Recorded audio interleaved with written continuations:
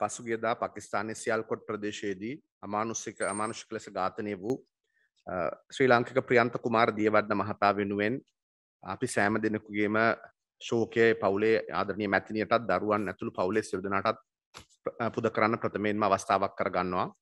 එමෙන් ඊයේ පැවතිච්ච කැබිනට් මණ්ඩල රැස්වීමේදී එතුමාගේ අභාවය පිළිබඳව ශෝකය පල කරන්නට ගරු අගමැත්තුමන් ජනාධිපත්තුමන් ඇතුළු සියලුම දෙනා කටයුතු කලා වගේම ගරු කම්කරු අමාත්‍යවරය හැටියට නිමල් සිරිපාලද සිල්ලා මැත්තුමා ප්‍රියන්ත කුමාර මැත්තුමන් විසින් වසර එකොළහක කාලයක් තිස්සේ ශ්‍රී ලංකාවේ ආර්ථිකයට කරන ලද දායකත්වය සැලකිල්ලට අරගෙන හුගේ මරණය හේතුවෙන් අසරණ භාවයට පත් මාදරණ බිරිද සහ දරුවන්ගේ සුභ සාධනය වෙනුවෙන් මාංශය පදනම් මත විදේශ සේවා නියුක්ති කාර්යංශය සේවක සුභ සාධන අරමුදල මගින් රුපියල් මිලියන දෙකයි දසම පහක මුදලක් වහාම ප්‍රධානයක් හැටියට ලබාදීමට ඉදිරිපත් කරන ලද යෝජනාවට කැබිනට් අනුමැතිය ලබා දීලා තිබෙනවා. එම මුදල අදාළ එම ආදරණීය බිරිඳට දරුවන්ට ලබා දෙනවා වගේම ඉදිරියේදීම පවුලේ සියලුම සුබ සාධන කටයුතු වෙනුවෙන් ශ්‍රී ලංකා රජයත් පාකිස්තාන් රජයත් මැදිහත් වීමෙන් අවශ්‍ය සියලු කටයුතු කරන්නට කැබිනට් මණ්ඩලය තීන්දුව කරනු ලැබුවා.